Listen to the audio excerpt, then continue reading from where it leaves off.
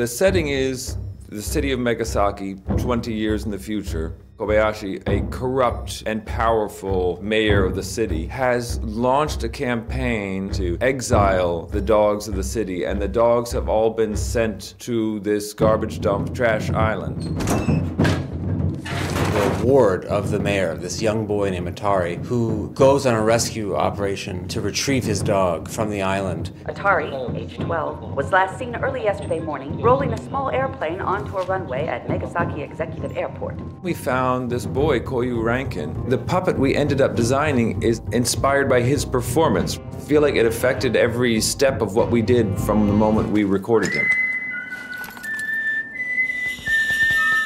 Hi, I'm Koyu, and this is Atari. And today I'm going to learn how to make him. And we start off by making a hero face. So once we've got that, we can make pretty much any expression we want. Then how go? How do you feel about the clay? What's it like to work with? Uh, it's hard. Yeah? So. This is you in two halves without you being in there. So upstairs, we've made this plasticine sculpt. Perfect. You lay him down, put clay all the way around him, and then in the ovens, we'll bake in foam so we can make all the flesh and the, the bits that go onto it. That's an armature. Now we have to make this so the animators can tension every little bit. So if they want to make him stand like that, we can increase the tension so he can do all of these poses and it'll hold the pose really accurately. We've got a couple of faces here that needs to be painted. I'll have a go with the airbrush. Press that down gently. yeah. And then, should we have a little go at painting the eyebrows? Oh, you've got a steady hand.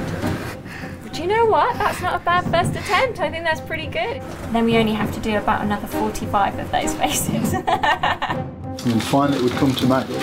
Maggie would then put all the clothes on. That's when the puppet's ready to go back to the animator. This is a bit of dialogue of you saying, I turn my back on mankind. I don't know if you want to have a go. Sure. It's just a test, though. Don't, don't worry about it. Yeah, there you go. And now we can check what you've just done here. Yeah, what you've just moved is now part of the sequence. なんでついてくるんだここからちょっと出てけ僕の犬だ Sit Well, I understood that. Sit down.